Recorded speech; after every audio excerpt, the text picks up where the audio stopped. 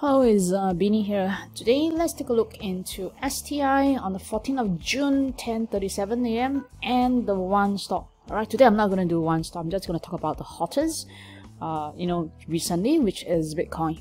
Alright, so we saw the plunge in crypto recently, and the question is always, can you see that plunge before it happened? And the next question is that can you benefit from that? So this is what I'm going to discuss. Okay, so first let's take a look quickly into STI uh, it happened exactly as what I've um, said and it's played out exactly. So um, I've drew in this uh, blue horizontal line, the upper one, right, yesterday. And I said that only if STI can close above 3,180, then we can see some bullishness. Indeed, that it was just resisted by the blue line and continued to go down. Now today, STI gapped down because of the overnight US market, and we are seeing that it's even lower than the um, March low. Okay, so this low here, right?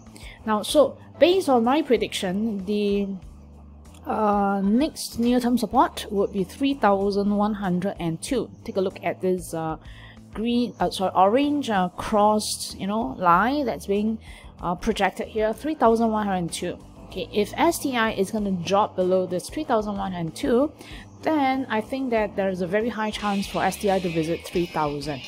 Alright, one number, one key number, one major key number to um, that you want to remember, which is this number here that I just mapped in, it's 3041.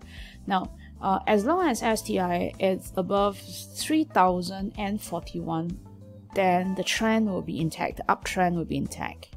But if it's below it, then we can start to see that STI is uh, probably going to uh, suggest a bit of a trend reversal all right we saw that the us overnight market is already for s&p for example is already showing signs of reversal and perhaps that if you want i can do a video to update on what's happening with the us indexes um, and you can also watch one of the video where I predicted um, that the uh, you know the US indexes will do such a huge correction.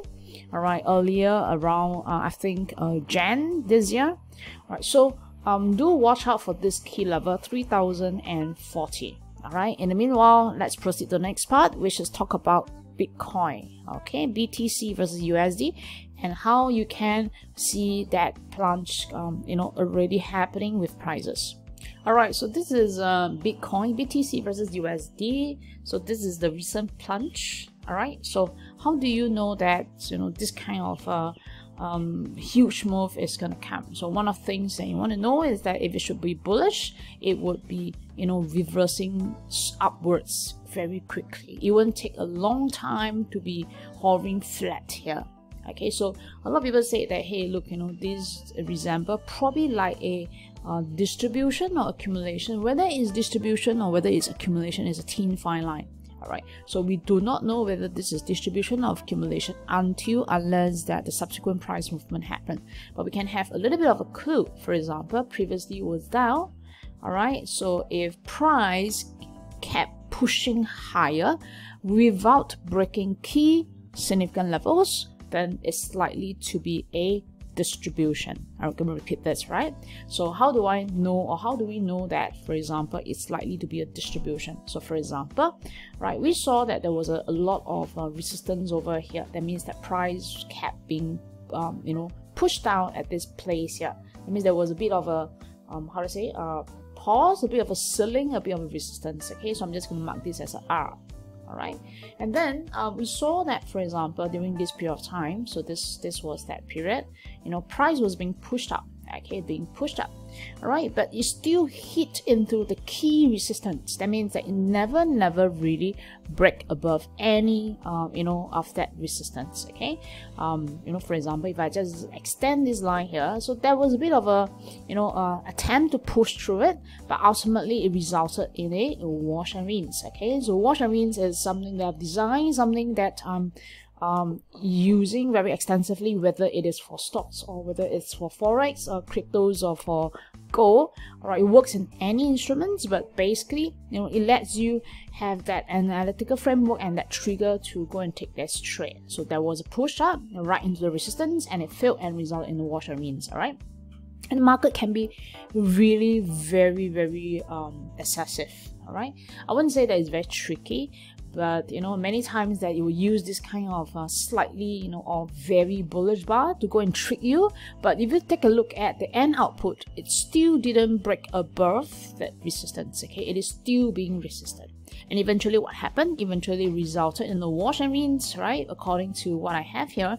Um, but for us we treat that as you know a fake break or fake proof uh, pushed and then eventually you know it resulted in a short uh, for us okay? So there was a short signal for us on the um, 7th of June right? And then there wasn't any exit signal. So if you can then you basically have a short signal around 30,000 in Bitcoin. I repeat 30,000 all right in Bitcoin and we are still in the game okay?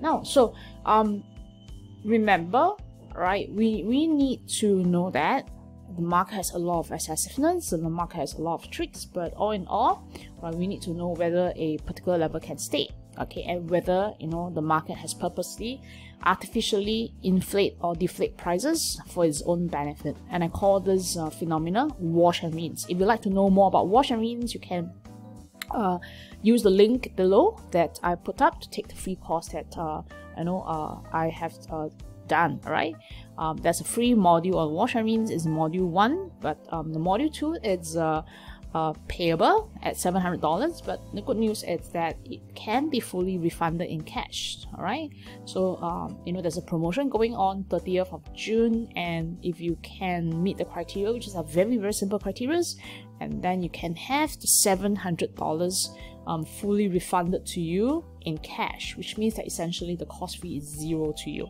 okay you can use that in the stocks you can use that in uh, forex in crypto or whatever that you want to use that um, and then you know um, it's there's a lot of things. Just go and find out right? But that's not the key today today.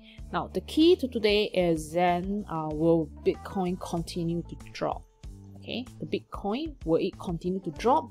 And if it will then what would be the levels i'm looking at right? Um it's not uh it's it's known because i actually uh, did quite a lot of videos uh, on Bitcoin and uh, uh, talk about where and how low it can go. And of course, the first level would be around here, which adds about 20,000 or 19,800, which is actually this high here. Okay, if you can see, this was that high here um, that Bitcoin uh, should be uh, probably, probably, uh, you know, respecting at the moment. So we are just like um maybe like 1000 plus um, to that previous high is very near. Okay so look at this support. Now, however if this support doesn't hold all right i probably need to do another video to talk about how low bitcoin can go